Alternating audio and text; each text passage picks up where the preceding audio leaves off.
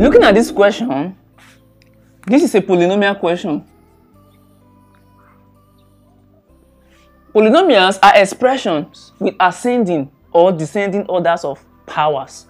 So this polynomials has a power of 3. The highest power is 3.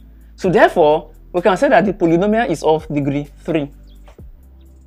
And another thing about this polynomial or this question is that it has to do with factor and remainder.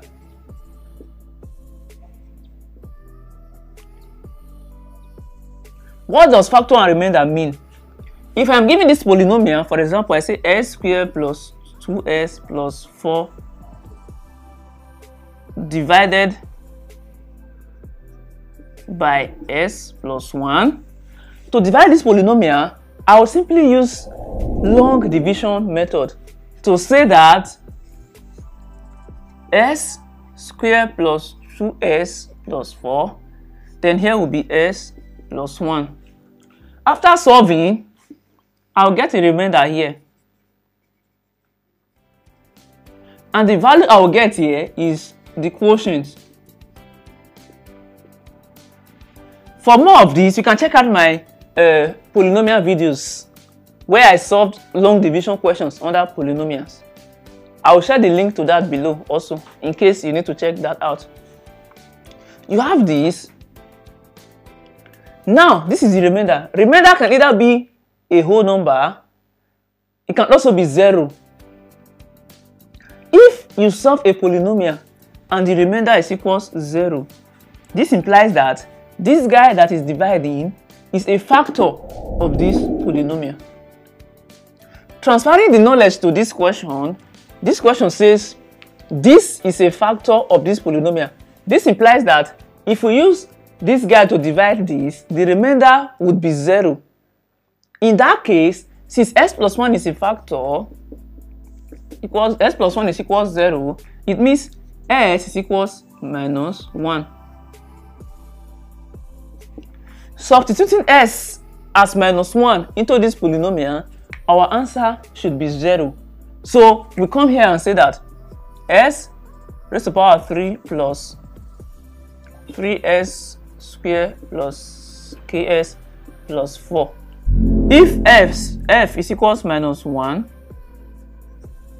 then we have minus 1 raised to the power of 3 plus 3 minus 1 square plus k minus 1 plus 4 equals 0.